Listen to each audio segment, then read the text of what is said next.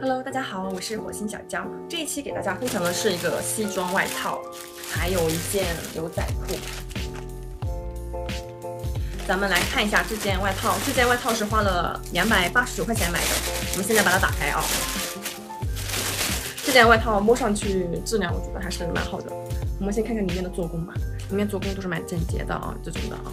我们来看一下它的一个袖子，袖子是这种常规的啊，它是一个短款的啊。我们再看一下它的一个裤子，它这个是模特搭配一套的，然后我们把它都买回来了。我们看一下整体的一个效果怎么样啊？裤子呢是这种款式的啊，是一个蓝色的一个裤子啊，这里是有破洞的设计啊。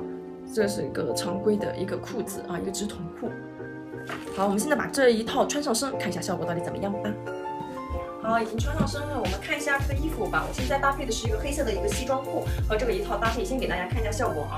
这个衣服呢是这种小香风的一个系列的啊，它是属于那种比较轻熟风的啊，所以看起来会比较成熟一些啊。里面咱们就配个小白色的吊带，真的就是很百搭了啊。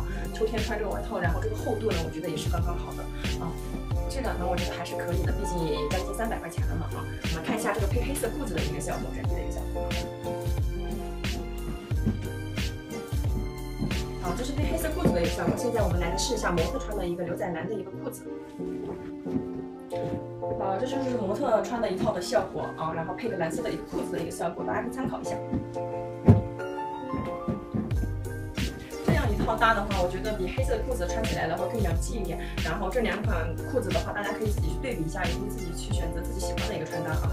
配黑色裤子或者是蓝色裤子都是可以的啊。下面配个小白鞋就可以了，非常的简单的穿搭啊。然后像如果是上班的话，也是可以穿的啊。然后这一套的话也是属于那种休闲，然后带一点气质，还有点成熟的那种感觉啊。整体来说，这个外套还是蛮好看的啊。这一套穿也是蛮好的一个效果。好了，那这套衣服的话，大家觉得款式好不好看呢？然后记得给小娇留言评论哦，记得给小娇点赞关注哦。感谢大家收看，我们下期再见，拜拜。